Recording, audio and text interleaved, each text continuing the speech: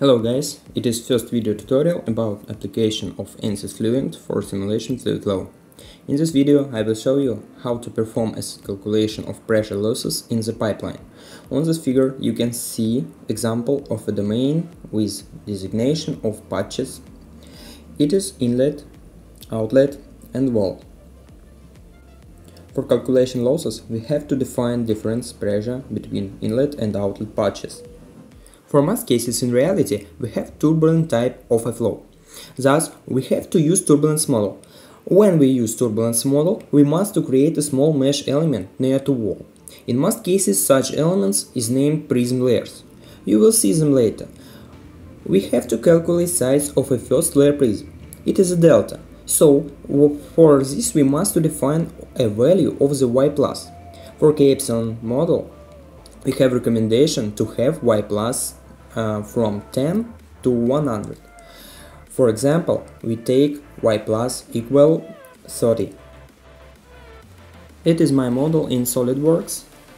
Um, it is um, pipe uh, which has diameter 80 millimeters and uh, it is sketched with average line which describe shape of this pipe so we must to save it um, like step format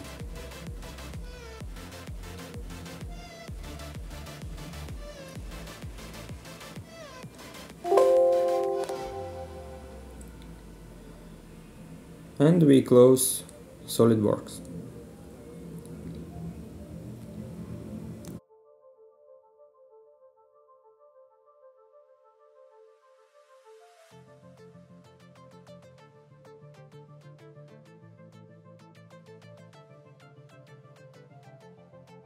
Now we open uh, Workbench.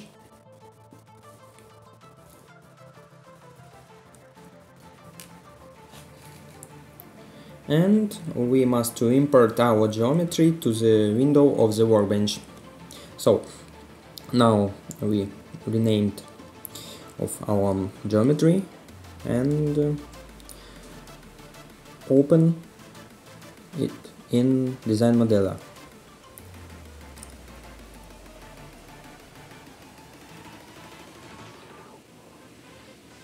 So here we must to click generate and now we see our geometry of a mm, pipe. So let's close design modeler and connect our design modeler with ANSYS meshing. In meshing we create our mesh type of the mesh uh, can be unstructured and structured. In our case, we generate structured mesh with hex type elements. So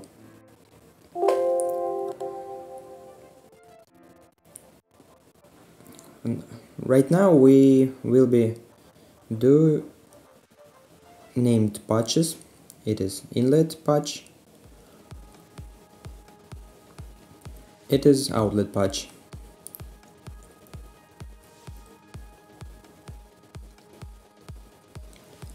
It is boundary. Faces. It is all faces wall patch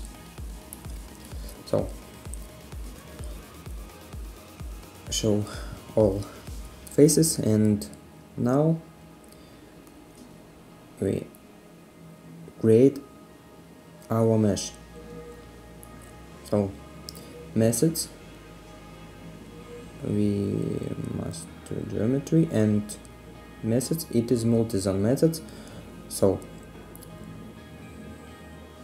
click generate mesh and it how we can see mesh is uh, very coarse. So and they don't have boundary layers. Prism layers yes. Now we must to create our boundary layers with size of the first rectangle elements to the wall delta. Okay Inf no not pitch. It must be inflation.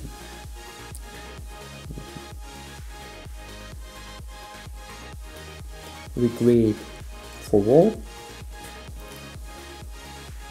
First layer thickness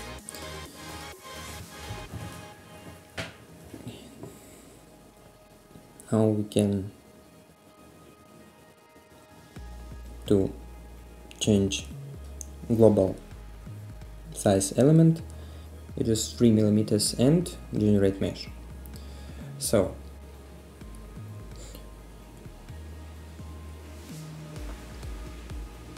now we have what our mesh have a very nice quality mesh. It is hexa mesh with prism layers. Okay split our mesh. You can see boundary layers.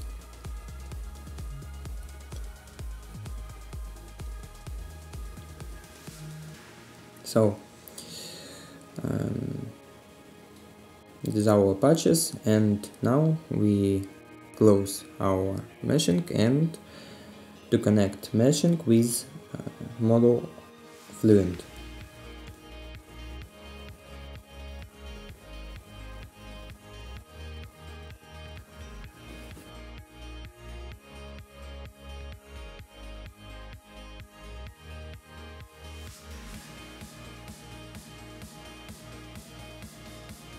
Now we open ANSYS Fluent and we def must define number of cores which we came to use and now we see main workplace NC when we must set of all settings of our simulation. So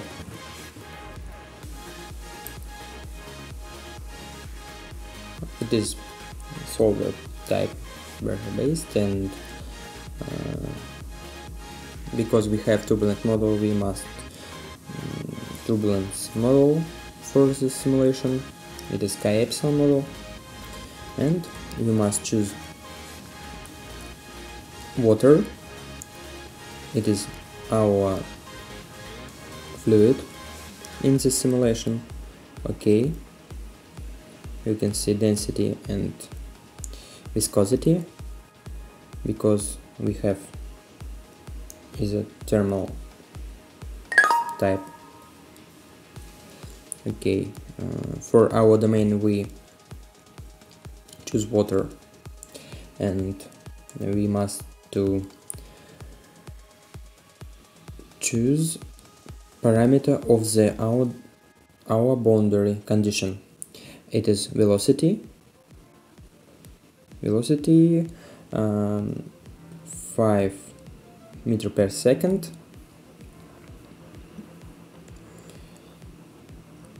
Okay.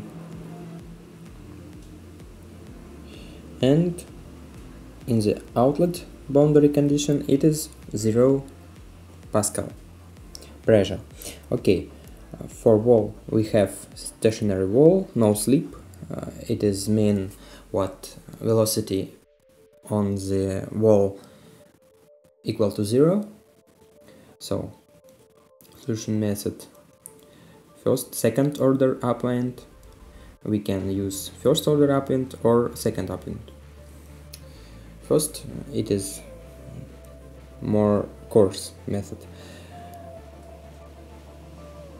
So this criteria of our residual and okay um, now we choose number of the iterations. It is equal to 1000 and run our calculation. Mm, okay close. Calculate. Yes.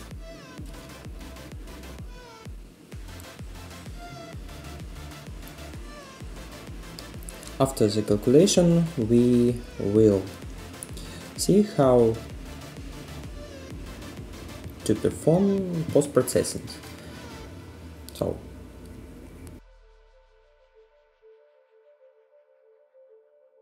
our simulation is complete and now we connect our um, solution with post-processing. It is open results. It is post-processing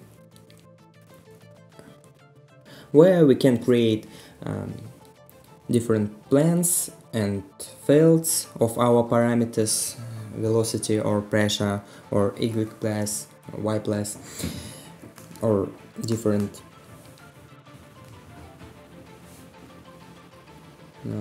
It is plan and we create velocity field and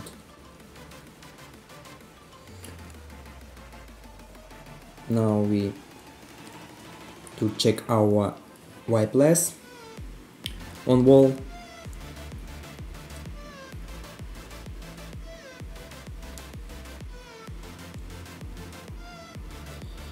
So, how you can see, y plus is correct and it's mean what um, our expression give us good results so let's to calculate Let's calculate uh, pressure losses. It is difference between inlet and outlet patches. Outlet patches it is equal to zero. Inlet it is 10,000 uh, Pascal. 10,000 Pascal it is our pressure losses. And uh, we can divide it pressure to density of the fluid our fluid and gravity. And we can get our losses in head it meters so I will show you our um, meshing. So it is you can see um, what? On wall the velocity equal to zero. And for plan show mesh lines okay. So how you can see it is why we must do perform creation of the prism layers for boundary layers. Okay. Okay close. And thank you for watching. See you